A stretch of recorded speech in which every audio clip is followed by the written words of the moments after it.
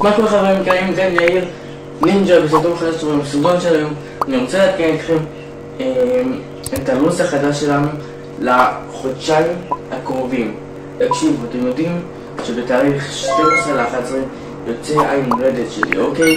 אם הולדת שלי יוצאת בתאריך 12 ל-11 אז תקשיבו, מה שצריך לעשות זה ככה, אני מתכנן לעשות לכם ולוגים אני הולך עכשיו להגיד את הלו"ז הכל יהיה פה במסך אה, כבר עכשיו אני אראה לכם את כל הדברים אז תקשיבו, יש לנו ככה.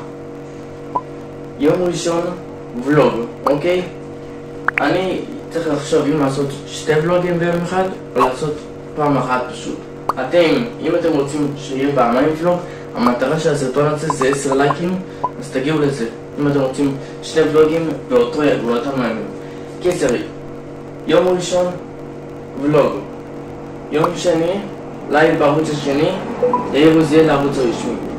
יום שלישי, הפסקה. יום רביעי, לייב בערוץ השני, יאיר עוזיאל לערוץ הרשמי. יום חמישי, ולוג. אז תקשיבו.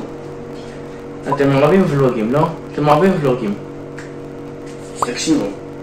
אם אתם רוצים ולוגים בראשון וחמישי שיהיה פעמיים או שלוש, כל מה שצריך באמת לעשות כדי שאני באמת אעשה את זה זה לתת לייק, לרשם לערוץ ולתת את הפעמון, זה ממש יעזור לי.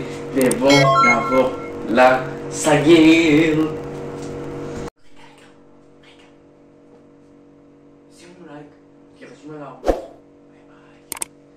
אז כן חברים, זה היה הלו"ז החדש של יאיר נינג'ה. אם אתם רוצים לדעת עוד לו"ז חדש או איזה משהו אז תקשיבו, לפעמים הלו"ז ישתנה אני כרגע עכשיו חושב על כל הלו"ז הזה של החודשיים הקרובים, אז תקשיבו, אני אוהב אתכם, באמת, תודה רבה לכל מי שצפה בסרטון הזה, באמת,